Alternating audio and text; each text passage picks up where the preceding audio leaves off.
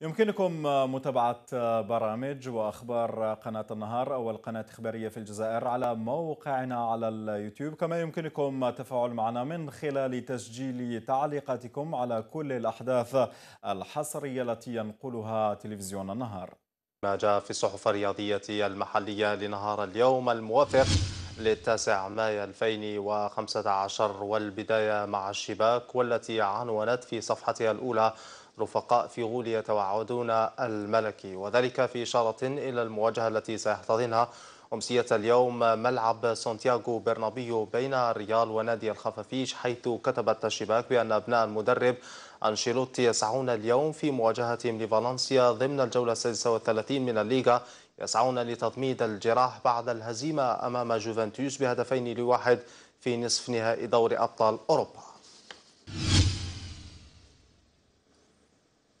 يومية لوبيتر الناطقة بالفرنسية تطرقت لتصريح رئيس مولودية الجزائر كريم رايسي والذي أكد بأنه سيطلب من لاعبيها الترحيب واحترام مدربهم السابق بوعلام شارف بمناسبة مواجهة الدربي التي تنتظر المولودية أمام اتحاد الحراش اليوم. أضاف رايسي بأن المولودية ستلعب المواجهة من أجل الفوز وليس الثأر من المدرب السابق للفريق مؤكدا في نفس الوقت على وجوب التحلي بالروح الرياضية والتصالح بين أنصار الفريقين.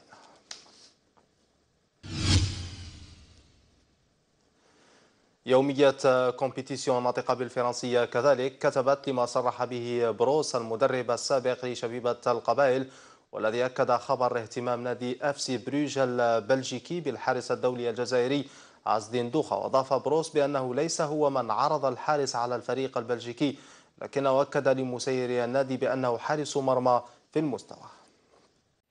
أعجبك الفيديو سجل تعليقك وموقفك أسفل الصفحة.